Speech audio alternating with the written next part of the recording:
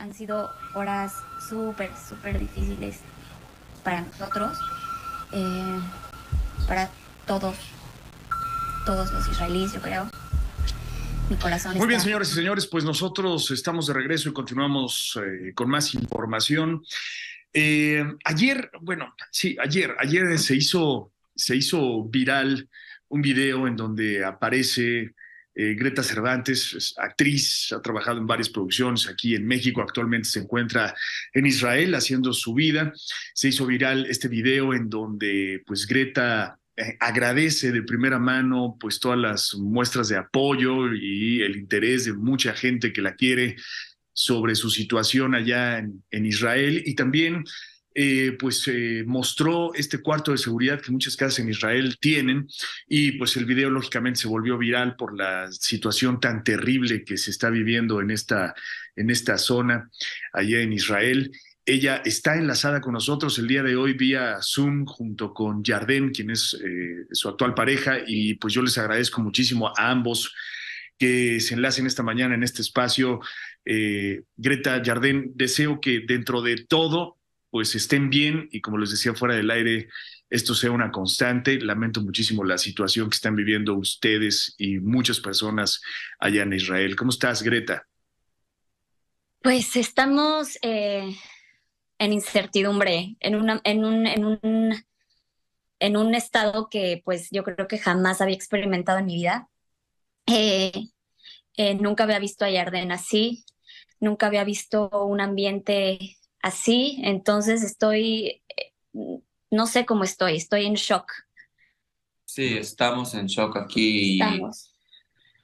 Sí, está aquí, está de México, ¿sabes? Y nosotros los israelíes tenemos unas cosas así como... Toda la vida. Toda la vida, pero ahorita también nosotros estamos en shock todos porque es casi mil, mil gente que ya están muertos y ni hablamos de la gente que están en Gaza, niños, mujeres, eh, no sabemos ni nada de, de, qué está pasando. Hay, hay muchísimas gente que están como muertos en, en, un party.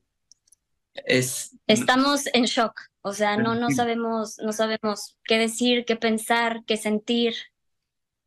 Greta, eh, cuéntame, cuéntame cómo, cómo es un día, eh, cómo, cómo, son estos días eh, este, para ti allá en Israel. ¿Cómo, vives un día desde que te despiertas hasta que anochece? Pues para empezar, te relato un poco de los tres días que, pues, que hemos vivido ahora sí que desde que declararon la, en estado de guerra.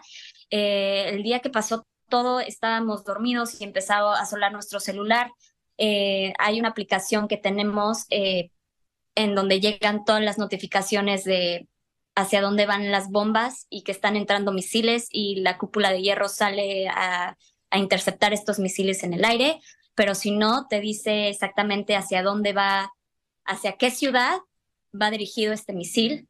Entonces, empezamos a recibir muchísimas notificaciones de familia, de, pues, de la aplicación nos despertamos, no había alarmas aquí, gracias a Dios, pero pasaron como tres horas y empezamos a escuchar eh, a, gente gritando que iban a matar a todos los judíos eh, y que ni saliéramos de nuestras casas, nos metimos al, al búnker, al cuarto de seguridad y no salimos de ahí hasta que vimos que ya no había nadie afuera y nos dirigimos hacia casa de nuestros suegros. Em, a partir de, pues, de ese día no hemos eh, vuelto a salir.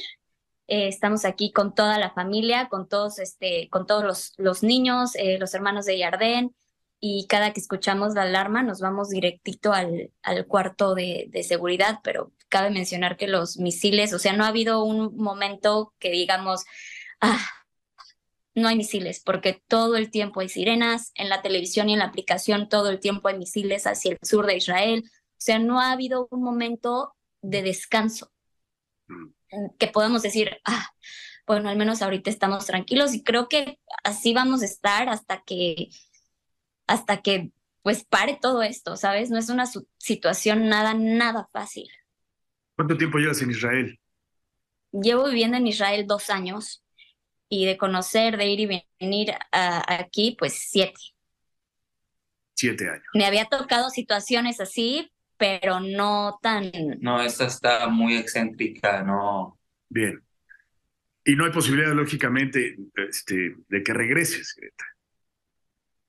Claro que hay posibilidad, pero pues como te comento, llevo, llevo viviendo acá, aquí es mi hogar. Entonces, eh, acá está toda la familia de Yarden. Entonces, por el momento, eh, yo creo que pues si sigue así la cosa, yo creo que sí vamos a tener que pensar en, en salirnos. Eh, por el momento, pues rezar para que pues estemos bien, estemos este, todos seguros y que, sí. y que no pase mayores, porque también salir, Javier, no es nada fácil, es un caos, es un caos salir a la calle, no sabes si te vas a encontrar un loco que empiece a dispararle a tu coche, eh, pues te digo, hay misiles, entonces los misiles en el aeropuerto es más fácil que caiga un misil al aeropuerto y estemos desprotegidos a que caiga un misil en un lugar en donde tenemos protección, ¿me explico? Entonces nosotros nos sentimos más seguros pues en el cuarto de seguridad. Qué barbaridad. Pues Greta, yo te agradezco muchísimo que hayas tenido la gentileza de, de compartir esta terrible experiencia que estás viviendo junto con toda tu familia allá en Israel.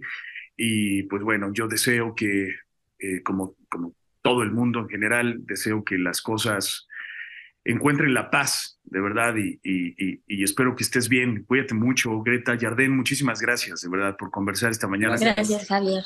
Y Muchísimas gracias. Que todo esté bien, de verdad. Me imagino que vas a seguir manteniéndote en contacto a través de tus redes sociales. Claro que sí, claro que sí, desde, desde mi punto de vista. Y... Nos vamos a hacer las cosas, si, si están muy, muy mal, pero todo en algún momento va mejor por, y por allá vamos. Muchísimas gracias. Fuerte. Greta, muchísimas gracias, de verdad. Gracias, Greta. Gracias, Gator.